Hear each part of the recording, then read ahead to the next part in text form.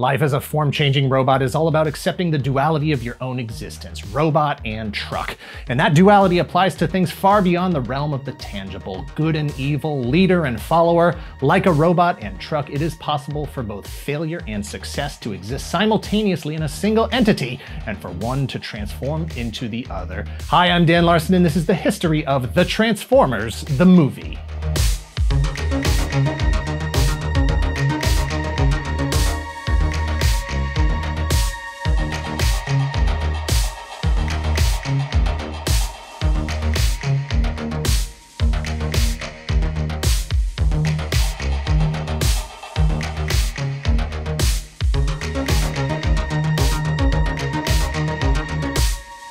Thank you to 80stees.com for sponsoring this video. Click the link in the description below and use code TOYGALAXY to get 30% off your order today. 80stees.com is your source for t-shirts inspired by all things pop culture from the 1980s, which, to be honest, is all things still pop culture now in the 2020s. We are in the future and we shaped it in our own image. 80s movies tees, 80s cartoon tees, video games, superheroes, music, wrestling, holidays. Honestly, it's not even limited to just the 80s. There's plenty of stuff from the 70s, the 90s, and the 2000s that you can wear in your 20s, your 30s, your 40s. Heck, my dad is 71 and I got him this G.I. Joe bazooka jersey because he's a big New England Patriots fan. It's something we can enjoy together. From Transformers to Dungeons and Dragons, from Bruce Lee to Napoleon Dynamite, shirts range from soft to, ooh, that's soft. Free worldwide shipping on orders $50 and up. Click the link below and use code TOYGALAXY for 30% off your order today. Again, that's code TOYGALAXY for 30% off your order. Thanks again to 80stees.com. The Transformers the Movie is an animated feature film released in 1986 based on the wildly popular toy line created by Hasbro two years earlier in 1984. It is also a turning point when Transformers fans and Hasbro executives got a painful lesson in the power and value of story-driven marketing. In the distant future of the year 2005, the Autobot Decepticon war is reaching a potential climax after millions of years of fighting. The Decepticons have the upper hand on homeworld Cybertron, with the Autobots staging attacks from bases on two moons in orbit and, of course, across the stars on planet Earth, their adopted home since 1984. Or since 4 million BC, but who's counting? Thanks to super spy Laserbeak, Megatron has learned that the Autobots are low on Energon. The Autobots are sending a ship to Earth to restock their supply before they can properly attack the Decepticons on Cybertron. But before that ship can make it to Earth, Megatron and his goons absolutely slaughter everyone on board. Brawn, Prowl, Ratchet, Ironhide, the Decepticons intend to keep the ship on track and fly right into the Autobot base on Earth and attack before the Autobots realize what happened. The Autobots are tipped off when two newcomers to the cast notice the hole in the side of the approaching craft, and the fight is on. Hot Rod, the stylish, young, impulsive space race car, and Spike Witwicky's son, who's named Daniel, absolutely thrilled kids sitting in the theater. I should know I was there, thrilled beyond my, beyond our wildest dreams. A battle ensues that sees both sides take damage in ways that the daily cartoon had never depicted before. Young viewers experiencing trauma on top of trauma, building up to the main event Optimus Prime versus Megatron. Ultimately, the Autobots prevail in the battle, staging a successful defense of the Earth base, but at a very high cost the death of Optimus Prime at the hands of Megatron, which was, and still is, highly controversial.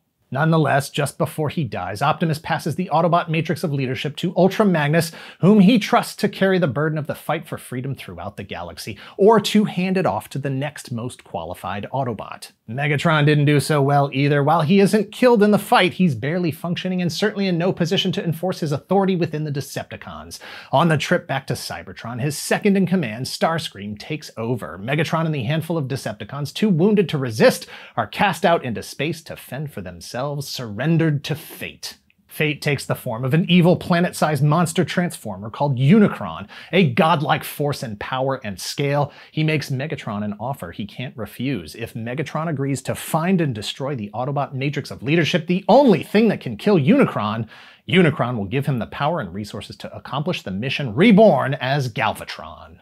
It's a race against time for the Autobots. They'll have to fight to survive long enough to learn the secrets of the matrix of leadership and the true nature of leadership itself. Who among them has the touch, the power to unlock the matrix and light their darkest hour? And can they do it before Unicron and Galvatron destroy everything? The Transformers, the movie, was put into development during season one of the animated series in 1984 with a popular line of toys, a popular cartoon, and a popular comic book. The big screen was the next potential frontier for Hasbro, and one of the only large scale marketing avenues left unexplored. Who conceived of the specific events depicted in the film, who gets credit for the specific ideas is a bit hazy, but we've done our best to try to clarify the general events these 35 years later. Because the whole thing, Transformers, is a cooperative process across a range of professional, financial, and creative disciplines and people with different responsibilities. Because a movie based on a cartoon for a toy line isn't something that is produced by a single regular writer and a director alone. At the high level, you have executives at Hasbro and Takara, the two toy companies that produce the physical toys and own the intellectual property based on them. At the end of the day, their job is to sell as many toys to as many kids and make as much money as possible. At the medium level, you have Griffin Bacall Advertising, the marketing company that owned the production studio Sunbow Entertainment. Griffin Bacall and Sunbow worked for Hasbro with Marvel Productions to produce, among other things, cartoons like Transformers and G.I. Joe. At the lower level, you have the teams of writers, artists, and designers working on producing the various elements of the mythology at Hasbro or Marvel or Toei Animation, people who are earnestly trying to do their best but are limited by the decisions being made by the two higher levels of management. No one person person wrote this movie. No one person created any of the characters or events depicted. Concepts were introduced and or mandated at different levels of the production process by different entities with different interests. That said, Ron Friedman is credited as the writer and claims he is the only person who worked on the only two versions of the finished script. Nelson Shin is credited as the director, and eight different people are listed as various kinds of producers. According to Flint Dille, an associate producer, script supervisor, and sometimes writer for the regular series, a story consultant for the movie, the first draft was done by Ron Friedman. Ron Friedman had television credits going back to the 1960s. He wrote the five episode miniseries that launched the G.I. Joe cartoon and was working on the G.I. Joe movie that was in production at the same time as Transformers. Why Ron Friedman? According to Dille, Friedman had a really good agent who ensured that if movies were ever developed from properties like G.I. Joe and Transformers, Ron Friedman would be the one to write it. Also, according to Dille, the first draft that Friedman turned in had pretty much everything in it that everyone at every level of management wanted in it. It was too much. Dille has explained that, given the constraints Friedman had to work under, that script was, understandably, an incohesive collection of ideas and beats that weren't a proper screenplay. Once submitted, Dille and producer Jay Bacall of Griffin Bacall spent a week reworking Friedman's script because it wasn't shootable. At the end of that week, Dille and Bacall turned in a script for a movie called The Secrets of Cybertron. In this version of the film, Optimus Prime would have traveled to the heart of Cybertron to learn the origins of the Transformers themselves. He would discover that Cybertron itself was a Transformer, and Optimus would activate it with the Matrix. This would lead to a final climactic battle pitting Cybertron against the evil planet-sized Transformer Unicron. Dille and Bacall thought their revised script was pretty good. But the Hasbro and Griffin Bacall executives thought it was not what they asked for. There are concepts in that script that would resurface in the regular series after the release of the movie, but the script itself is lost to time and non-disclosure agreements, and seem to be unrelated to the final second draft turned in by Ron Friedman. What Hasbro wanted was simple, a mechanism to turn over the roster of the existing toy line to reinvigorate sales for the year ahead. After two years, it was time to move on to new characters and, more importantly, new toys with new gimmicks to keep the system churning along. Transformers the cartoon was just a commercial to sell the toys. The movie wasn't intended to function any differently as far as they were concerned. The old toys are dead now, here are the new toys. The machine must be fed, all hail the machine. What the executives wanted, the executives got, and that was the script that was written by Ron Friedman. Despite the protests of the writers, the director, and the creatives who understood the relationships and significance of the characters to the audience, Optimus Prime had to die. Also, as many other characters as possible. A shrewd business move, a potentially catastrophic marketing move. There was no choice but to execute. 86. Ron Friedman fought hard, strongly recommending against killing off Optimus specifically. He knew death was not an element that the kids who were watching the show and buying the toys were used to, nor expecting within the established parameters of the series. Furthermore, he knew that the characters had been deliberately developed with specific archetypes that children would instinctively connect with. It had been a very smart and very lucrative marketing strategy. As Friedman put it, To remove Optimus Prime, to physically remove Daddy from the family, that wasn't going to work. I told Hasbro and their lieutenants they would have to bring him back, but they said no and had great things planned. In other words, they were going to create new, more expensive toys. They didn't recognize that Optimus Prime was the heartbeat of the Autobots, the strong and fatherly presence that made sure everybody else behaves and tries to live up to his example. You cannot pass that over and have any hope of duplicating the success you had. Friedman had no choice but to work within the limits assigned to him. At the end of the day, that was his job as he understood it as the writer. Optimus Prime had to go. But if he had to go, he was going to do it in a way that would allow the essence of Optimus Prime to transcend his death. That transcendental essence was what evolved into the matrix of leadership. Yes, the physical form of Optimus would be lost, but the values that informed his characters, that made him who he was, would be manifested in his true successor as chosen by the Matrix itself, Hot Rod, who would become Rodimus Prime.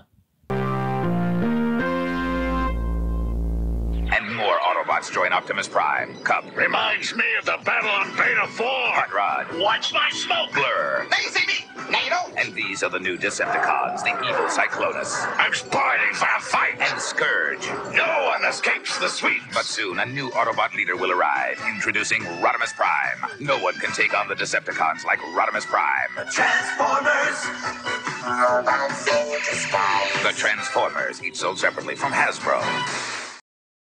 The Transformers, the movie, had a $6 million budget, essentially six times as much as the cartoon series for the same amount of animation time, but piled on top of all the previously existing animation expectations Toei Animation was already working with. Which included, but was not limited to, animation for the Transformers TV series and for the G.I. Joe TV series and movie, a movie that was intended to be released prior to Transformers. G.I. Joe was the bigger name and had been around longer. Both films had the same goal, refresh the toy line by killing off Dad. For the Joes, that put a bullseye on Duke. To make the leap to the big screen, Transformers was going to need to inject some star power. No offense to Peter Optimus Prime Cullen and Frank Megatron Welker, but their names weren't going to put a lot of butts in seats. Even Casey Kasem and Scatman Crothers wouldn't draw on their names alone. For the movie, an all-star cast was assembled, which should have been a big red flag to kids as soon as they sat down in the theater that something was up. Credits with big-name actors as characters they had never heard of before were dominating the screen as the theme song played. Eric Idle as Wreck-Gar, Judd Nelson as Hot Rod, Leonard Nimoy as Galvatron, I never heard of most of them. Robert Stack as Ultra Magnus, Lionel Stander as Kup, Orson Welles as Unicron. Who are these fucking guys? The Transformers, the movie, was the final feature film performance for both Scatman Crothers and Orson Welles.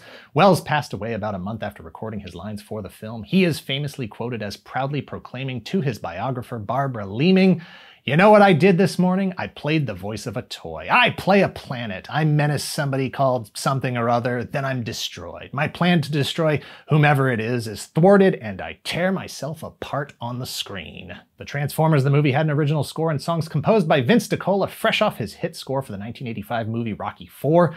It was a challenge as most of his music was developed using only storyboards for the film. It wasn't until the film was finished that he could go in and properly marry the music to the emotional beats. Touch. You got the power. The soundtrack also features Dare to Be Stupid by Weird Al Yankovic and two songs sung by Stan Bush, Dare and The Touch, which was originally offered to Sylvester Stallone's movie Cobra. Lion brought an epic version of the Transformers theme as well. Two songs, Nothing's Gonna Stand in Our Way and Hunger, are credited to a band called Spectre General, even though that wasn't the name of the band. The name Kick Axe was changed without the permission of the band for concerns that Kick Axe wasn't appropriate for a kids movie and ultimate release on cassette and CD. The Transformers the movie was released on August 8, 1986 in the United States. It made $1.7 million in its opening weekend, which put it right behind About Last Night in 14th place. About Last Night, a film starring Demi Moore and Rob Lowe based on the 1974 David David Mamet play called Sexual Perversity in Chicago that had already been in theaters for five weeks. The Transformers, the movie, would scrape together a total of just under $6 million, which, if my math is correct, is just under the $6 million budget for the film. Is that right? It is currently in 110th place for 1986, right behind Highlander and another Hasbro film, My Little Pony, the movie. Look, I don't know much about the movie industry, but I know that it was a crowded field at the cinema that year. One of the biggest years on record, churning out pop culture icon after pop culture icon, the previously mentioned About Last Night and My Little Pony the movie, of course. Short Circuit, Ferris Bueller's Day Off, Labyrinth, Big Trouble in Little China, The Karate Kid Part 2, Aliens, Howard the Duck, Stand By Me, Flight of the Navigator, Crocodile Dundee, Space Camp, Star Trek IV, The Voyage Home, The Golden Child, Money Pit, Friday the 13th, Part 6, Jason Lives, Iron Eagle, Three Amigos, and the number one hit film of the summer, Top Gun. Add to that, Transformers was distributed by the very young De Laurentiis Entertainment Group. Transformers was only their fourth film. I have no idea what they do or how they could be responsible for the poor performance of the film, but De Laurentiis handled both My Little Pony and Transformers, and that cost Hasbro nearly $10 million in lost sales. One year later, De Laurentiis was already $17 million in debt based on their run of box office flops. You know, they have a saying in Chicago once is happenstance, twice is coincidence, the third time it's enemy action. Transformers was targeted at kids and young teens. This was reinforced by the PG rating, which was done intentionally to sell more tickets, because PG movies got more showings than G rated movies. A G rating means all ages, saccharine stuff.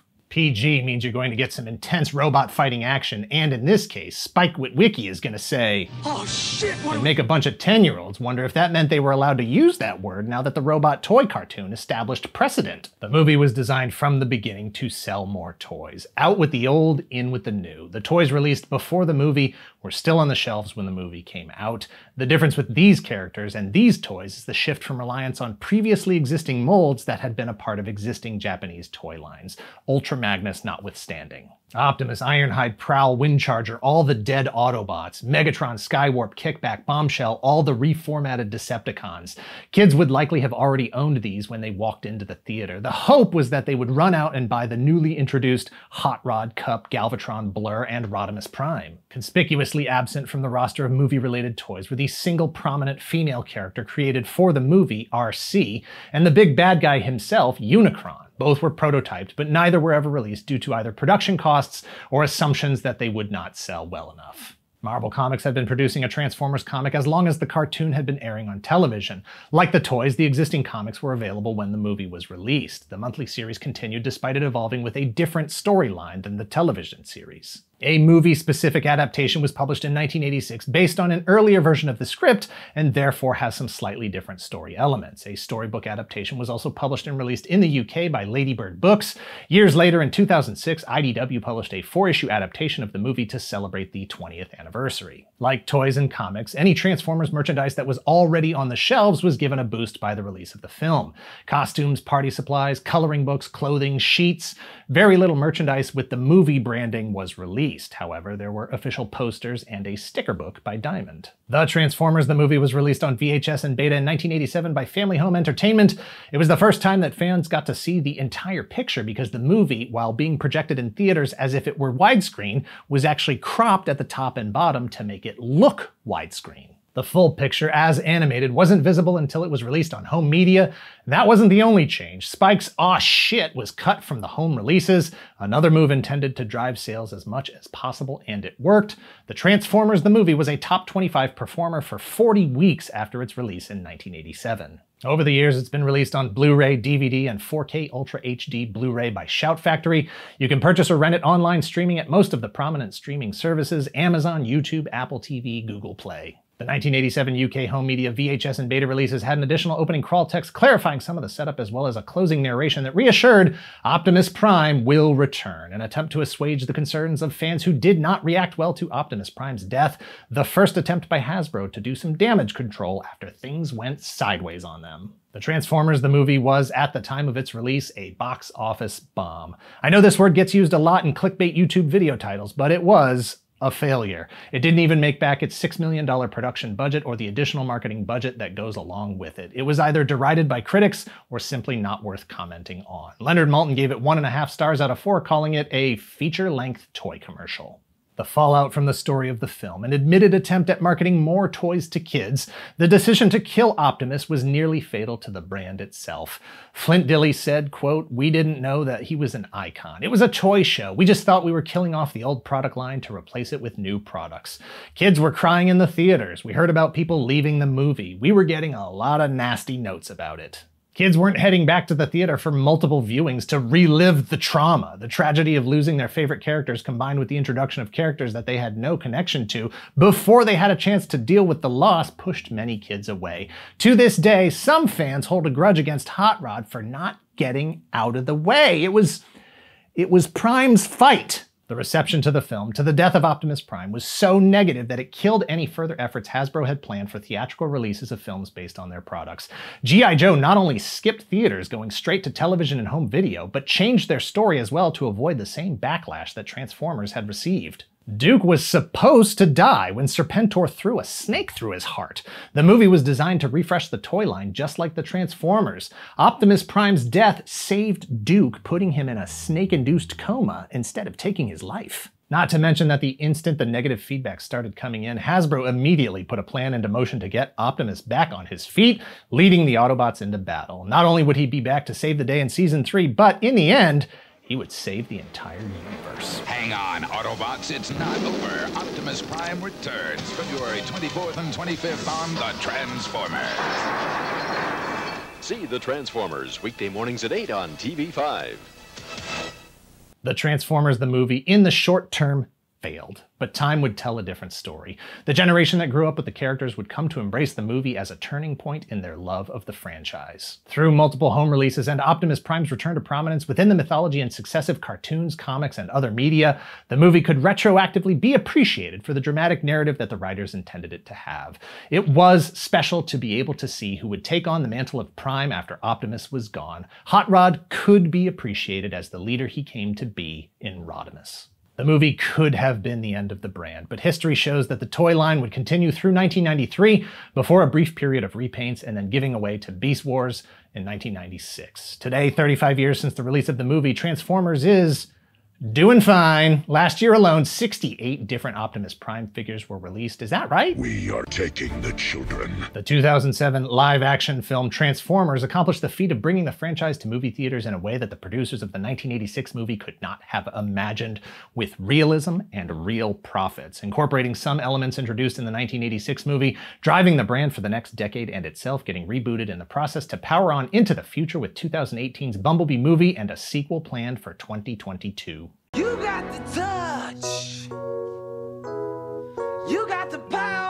Generation 1 still dominates the Transformers landscape. Stan Bush's The Touch found its way into Transformers games and movie soundtracks.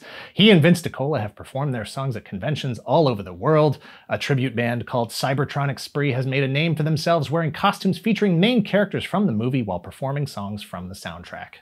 Super 7 released figures for the 35th anniversary, and of course, Hasbro has gone back to the well time and time again with figures for everyone from Kup to Blur to RC to Wreck-Gar, Sharkticons, and Quintessons. Most recently in their Studio Series line with some of the best, most accurate representations of the movie characters ever produced. In 2019, Hasbro ran a crowdfunding program to finally give Unicron his due. A massive transforming figure was realized on the strength of over 10,000 backers, contributing at least $575 apiece. That's just under $6 million, which, if my math is correct, is just under the production budget to make the movie in the first place. Is that right?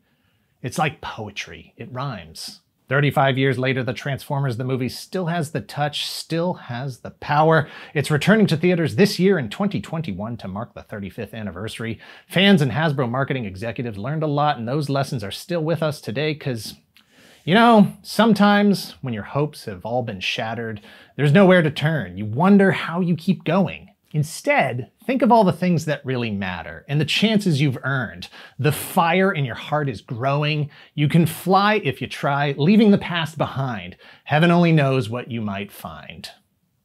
Probably more Transformers. Thanks for watching. Please hit like, hit subscribe if you're not already a subscriber. Thank you very much to those of you who already are. If you haven't heard, we started streaming on Twitch. Find us at twitch.tv slash toygalaxy. If you're in the position to help the channel grow, please visit our Patreon or become a YouTube channel member. Thanks again to 80stees.com for sponsoring this video. You can order this shirt today if you want. Not this one. This one's mine. Let us know in the comments down below if you have any unique experiences related to The Transformers, the movie. For me, it would be watching cartoons the week before the premiere and the station was running a contest where each day they revealed the next letter of the name of one of the new characters in the movie.